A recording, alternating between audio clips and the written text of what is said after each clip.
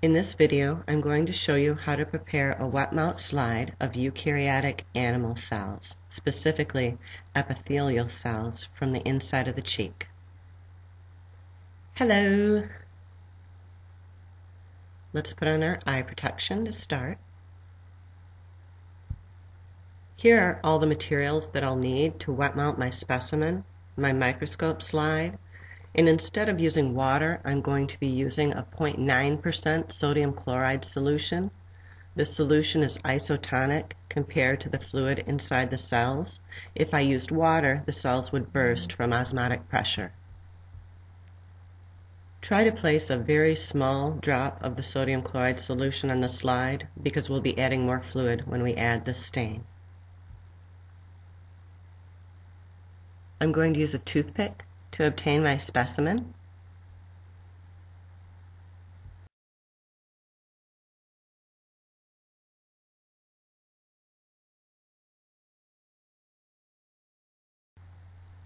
I can get a good sample of epithelial cells simply by running that toothpick gently along the inside of my cheek.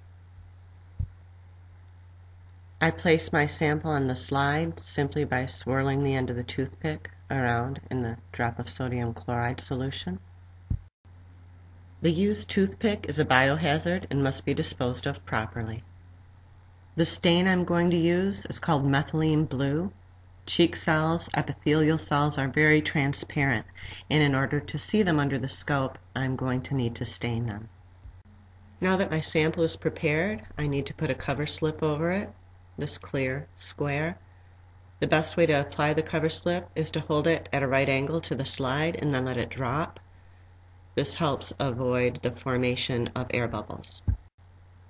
Sometimes if you use too much liquid in your sample, when you drop that cover slip, the liquid can seep out the sides.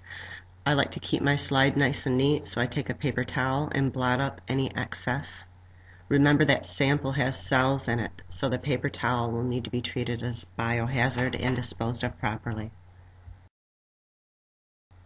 This is what my slide looks like when it's finished. Now I'm going to show you what these cheek cells look like when viewed through a compound light microscope.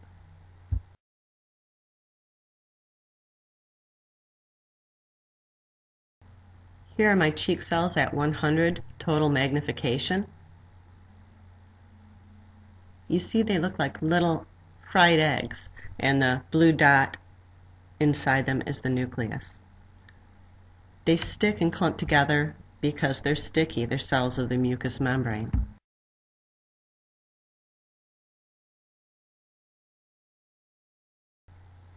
Here are the same cells magnified 400 times their actual size.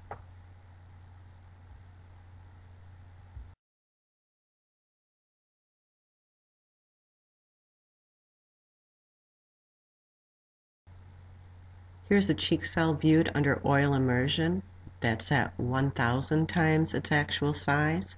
And you can see bacteria that's come from the mouth on and around that cheek cell, the little dots that you see in clumps on the cell and around the cell. Those are oral bacteria. More seriously nerdy, amazing free stuff at scienceprofonline.com. Go there.